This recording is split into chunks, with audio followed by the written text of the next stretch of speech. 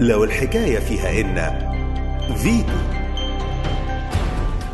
عبد الرحيم العوض الله المحامي مدير مركز الجنوب للحق آه، إحنا النهارده بنحتفل كما يحتفل العالم باليوم العالمي لمكافحة الفساد.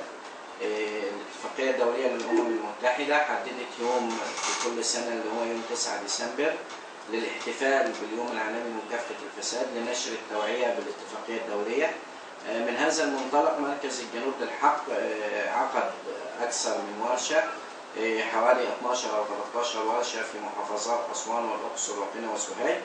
آه، في عملنا إحنا هنا في أسوان ثلاث ورش في قرى آه، كومومبو ودراو واختتمنا فعالياتنا يوم 7 12 يوم السبت 7 12 بمؤتمر حضره الأستاذ آه، فاروق عبد الخالق والأستاذ آه، الهامي المرغني وده كان كله في إطار التوعية بمكافحة الفساد لأن المسألة لا تتعلق بمكافحه الفساد أمر لا يتعلق بالحكومة والجهات المعنية آه، إنما هو على المجتمع كله أن يسعى إلى مكافحة الفساد.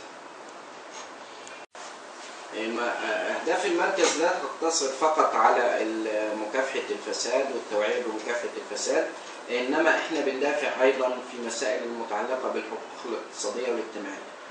وبالنسبة لمكافحة الفساد إحنا عقدنا أكثر من ورشة في في أكثر من محافظة في اللي هي في محافظات أسوان والأقصر وقنا والسوهاج آه، مع الجماهير للتوعية بمفهوم الفساد وآليات مكافحة الفساد.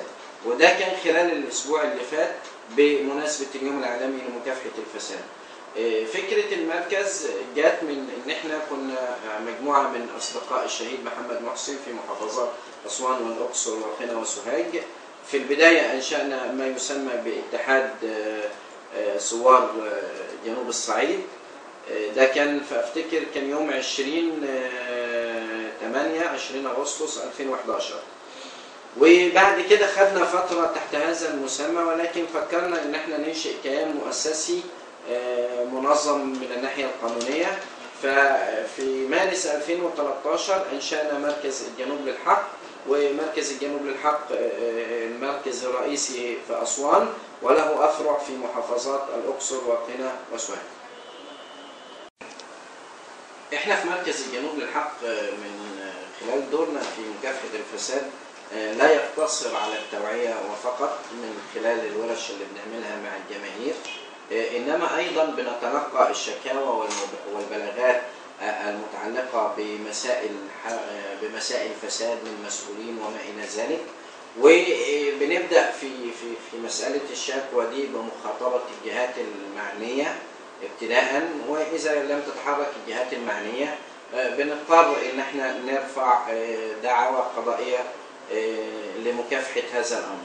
آه، ده من جهة ومن جهة تانية إحنا برضو بعيدا عن الشكاوى اللي بنتلقاها من المواطنين آه، بنعمل تقارير يمكن عدينا تقرير ربع سنوي عن بعض المشكلات المتعلقة بنواحي فساد في محافظات أسوان والأقصر وقنا وسوهاج وبصدد عرض التقرير ده على المسؤولين وعلى الأحزاب السياسية لتتضمن برامج الأحزاب السياسية في الفترة القادمة حل هذه المشكلات.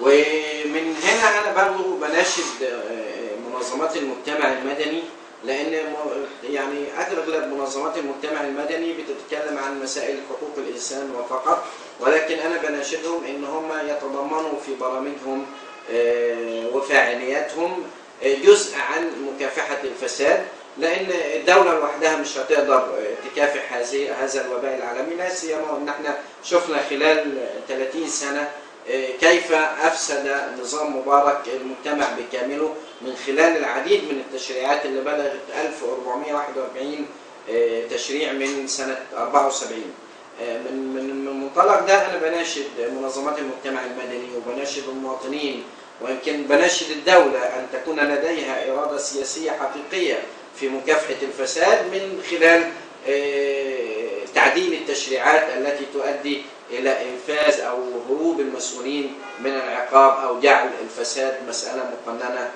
وكعمل مؤسسي.